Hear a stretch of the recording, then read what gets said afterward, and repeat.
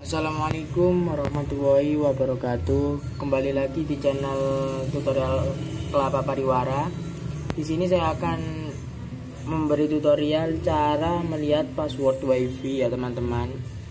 Yang sudah tersimpan di laptop kita, mungkin teman-teman kalian yang punya WiFi pas kalian tanya passwordnya di sini dia dan kalian pengen tahu passwordnya itu apa kita bisa mengetahuinya di sini akan kita gunakan yaitu aplikasi bawaan program bawaan dari Windows yaitu CMD atau Command Prompt. Caranya pertama kita ke start. Kita ketik CMD oke jika sudah kita buka CMD nya nah di sini kalau sudah terbuka seperti ini kita ketikkan bentar ya teman-teman fokus. Kita ketikkan, ketikkan seperti ini. Next. VLAN so profiles. Profiles. Seperti ini ya teman-teman. Kalau sudah kita enter. Nah, di sini akan tertera banyak sekali apa namanya history kita menyambung ke wifi apa saja. Kebetulan saya ingin mengetahui password dari wifi ini malware page oke. Okay. caranya sangat mudah ya untuk mengetahuinya. Tinggal kita ketik next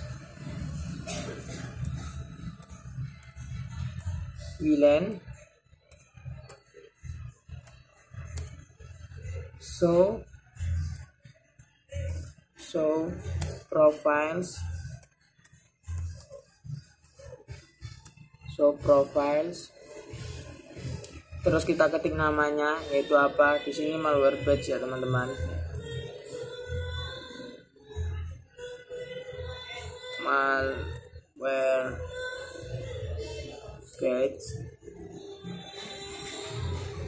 malware page terus kita tambahin di belakangnya itu key sama dengan clear.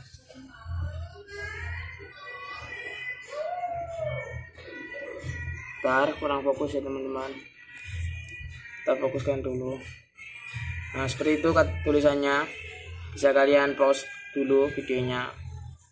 Kalau sudah kita enter nah di sini akan keluar semua pengaturannya ya teman-teman. Mulai dari SSID name namanya itu malware batch network type infrastruktur any radio tab security setting di sini authenticationnya pakai WPA 2 personal. Ya. Security key present key content channel download lah. Di konten ini adalah passwordnya. Jadi password dari malware badge adalah cendol dawet ini ya teman-teman nah seperti itu. Ngecek passwordnya itu di key kontennya ya teman-teman. Jangan sampai keliru. Bukan di security key nya tapi di key kontennya oke? Okay? segitu tutorial dari saya. Kurang lebihnya mohon maaf. Semoga bermanfaat. Kalau masih bingung bisa ditanyakan di kolom komentar. Jangan lupa like, comment, share, and subscribe YouTube channel ini untuk mendukung channel ini menjadi yang lebih baik dan lebih bagus ya teman-teman. Oke. Sekian dari saya. Wassalamualaikum warahmatullahi wabarakatuh.